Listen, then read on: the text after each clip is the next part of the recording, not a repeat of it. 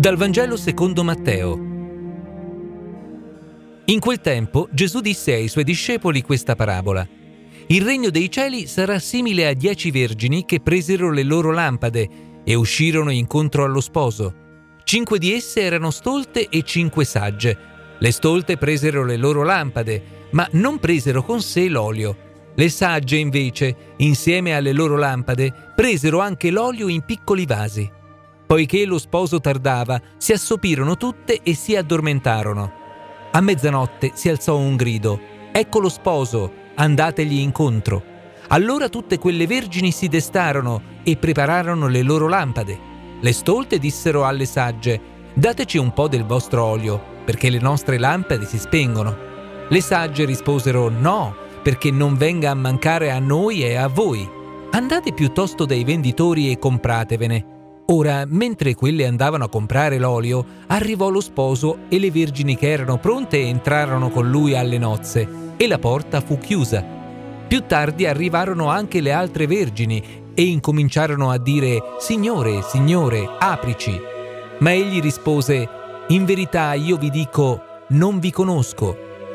Vegliate dunque, perché non sapete né il giorno né l'ora.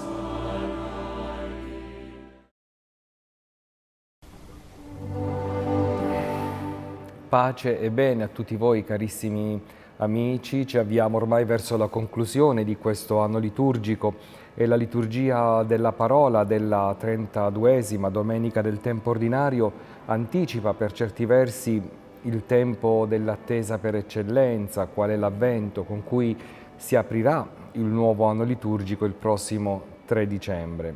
E con il nuovo anno speriamo anche un'era di pace e di tranquillità, nonché di vittoria sul male che sta affliggendo gravemente alcune zone geografiche del nostro pianeta. Bene, in questa domenica riascolteremo nel brano del Vangelo la parabola delle vergini sagge e delle vergini stolte. Una metafora, potremmo dire, della vita stessa dell'uomo che decide di essere disponibile oppure no alla volontà di Dio. La saggezza e la stoltezza rappresentano proprio questi due diversi atteggiamenti dell'uomo di fronte alla volontà di Dio.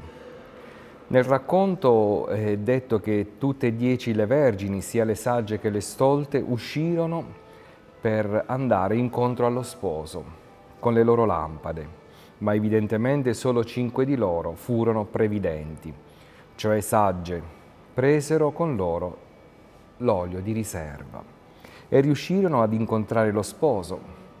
Gli altri cinque invece per la loro negligenza, per la loro superficialità, per la loro disattenzione e per la loro stoltezza non riuscirono ad entrare con lo sposo alle nozze perché le loro lampade erano spente.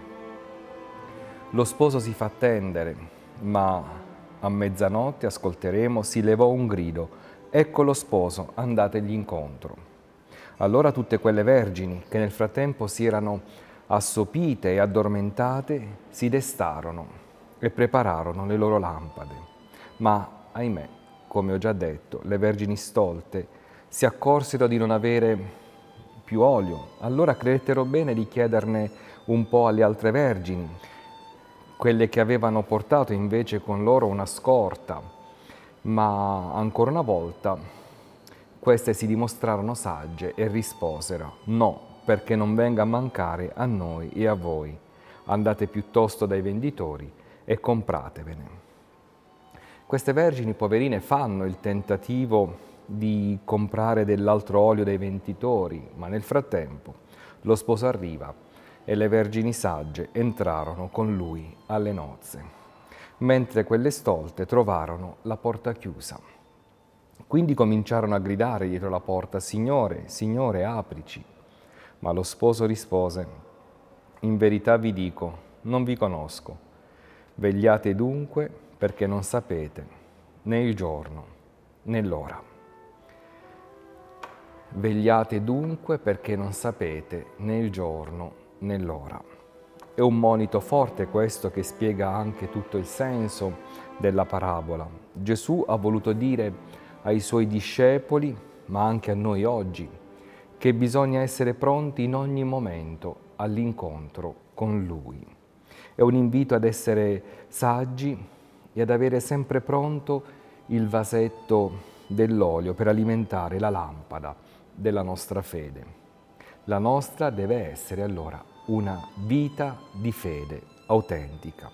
Se la esercitiamo con forza insieme alla speranza e alla carità, lo sposo non ci troverà impreparati quando arriverà e ci inviterà ad entrare con lui nella stanza delle nozze.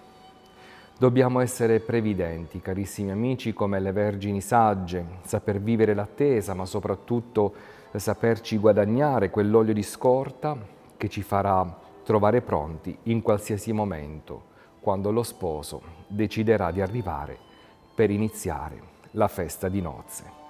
Pace e bene e buona domenica a tutti.